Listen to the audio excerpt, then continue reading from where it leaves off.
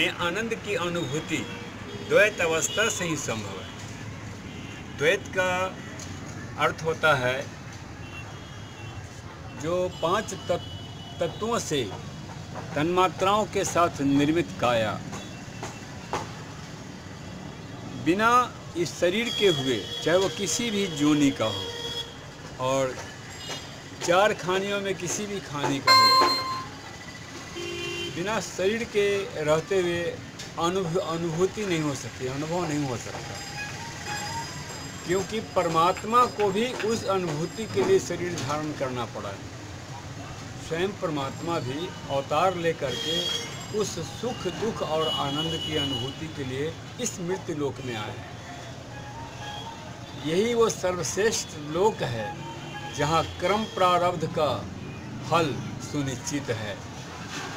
और वह स्पष्ट है, प्रत्यक्ष है, लौकिकता में प्रमाण है कि कर्म फल का भोगी जो आप देख करके दूसरे को आह करते हैं, लेकिन भोगने वाले को आह और वाह से कोई मतलब नहीं होता है। क्योंकि अगर किसी कोड़ को देखा जाए उससे पूछा जाए क्या दर्द होता है तो आपको वो दर्द होता है इसलिए पूछ रहे हैं लेकिन उसको वो दर्द नहीं है। क्योंकि वो तो बिल्कुल सुन्न हो चुका है, समाप्त हो चुका है। वो द्वैत रहते हुए भी अद्वैत की अवस्था में आ जाता है। अगर बाहर से देख के किसी फल के मिठास के बारे में जानते हैं, उसको हम ब्रह्मत्व कहते हैं, ब्रह्मत्व ज्ञान कहते हैं, तत्व ज्ञान कहते हैं, ब्रह्म ज्ञान कहते हैं।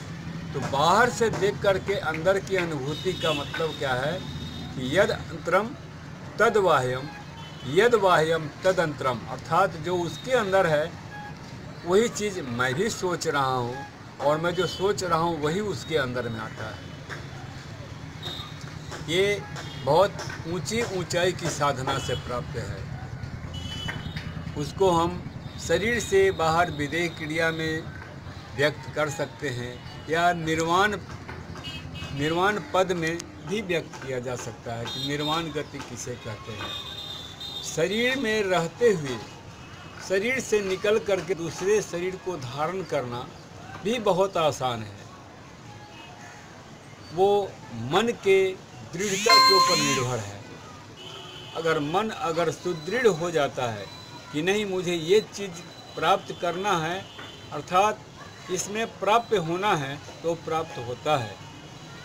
ये चीज़ हमारे पवित्र भारत के इतिहासों में शास्त्रों में भी वर्णित है कि राम और लक्ष्मण दोनों शरीर से एक ही सत्ता, एक ही ऊर्जा होते हुए भी परिवर्तित रूप में त्रेता से द्वापर युग में राम को लक्ष्मण अर्थात कृष्ण और लक्ष्मण को बड़ा बड़ा भाई बनने की इच्छा से, बलराम बनने की प्रक्रिया में आना पड़ा। तो इसको स्वैच्छिक प्राप्त होना या प्राप्त होना कहते हैं।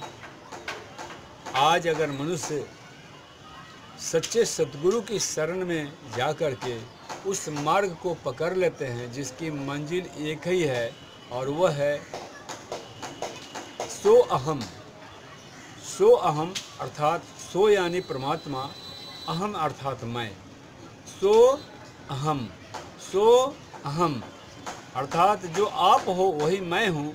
जो मैं हूँ, वही आप है। यह ही है आनंद का विषय। और इसको सच्चिता आनंद घन परमेश्वर का हृदयंगम होना कहते हैं।